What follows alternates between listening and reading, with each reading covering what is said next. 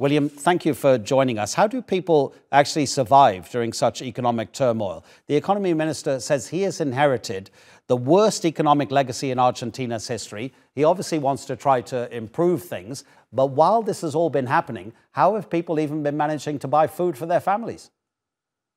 Well, Argentina is, excuse me, undergoing a very miserable time economically, and it has been for quite some time. But we have to also remember that, relatively speaking, within a Latin American context, it's not one of the poorest countries.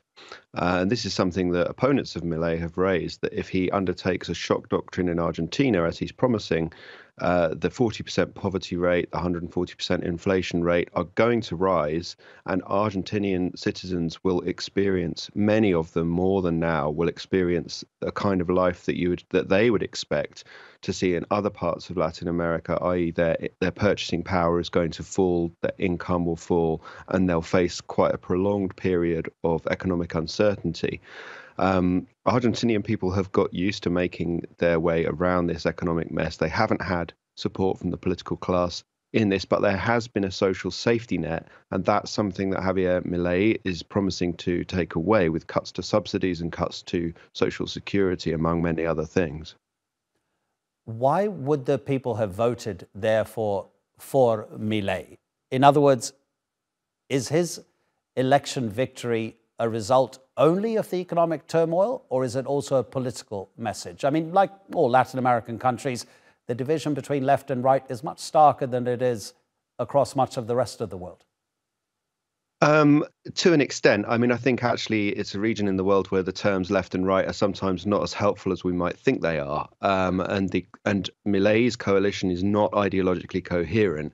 He's holding together three quite distinct groups: neoliberals or libertarians on the one hand, traditional right wingers uh, who came third in the first round of the presidential election on the other hand, and then really neo fascists uh, who are the kind of outriders of this coalition apologists for dictatorship and so on. Um, the the vote for him and the vote for this kind of strange coalition that's behind him is born out of despair, and it is despair both at the long-standing economic problems in Argentina, but also with the apparent impotence of the political class, whether that's the traditional, um, somewhat leftist Peronists. Uh, or the traditional right, um, represented by Patricia Bullrich, who has taken a job in this new government.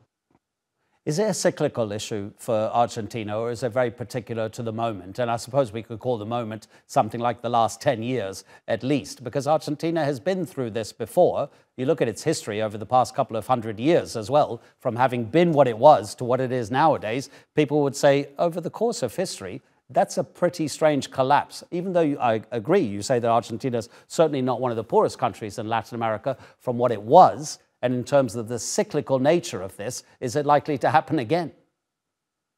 I mean, it certainly looks cyclical, but the problem with calling something like that cyclical in a general sense is that you, you ascribe a sort of fatalism to it, that Argentina will always be bouncing between these periods of boom and bust.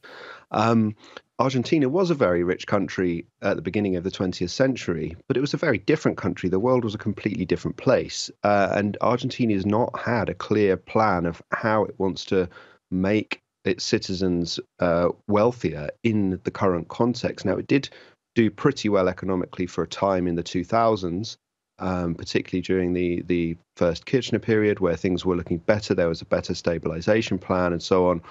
Uh, but really, there's just been a whole series of of poorly performing plans. Macri, who was elected to supposedly fix everything, uh, failed to do so. The Peronists really haven't managed to do much beyond uh, getting lifelines from from China and so on. So, it, it, while there isn't a, a, a national conversation about the way out of this, then there's always the risk of backsliding into economic collapse. But Milei's solution is to provoke a collapse. He said that already. He's going. The inflation's going to go up. Um, poverty is likely to increase in the medium term. Uh, one of the opposition leaders, Juan Grabois, has described this as a policy of social murder. Uh, and it's going to be very interesting to see how the opposition respond to this, how the labor unions respond to this, because it, it looks to the Argentine people like poor Argentines are having to pay the way out of the country's problems. There will be tens, hundreds of thousands of people on the street saying that this is not the right solution.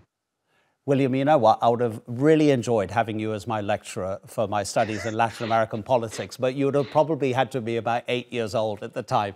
I really, really appreciate it, William. Thanks a lot.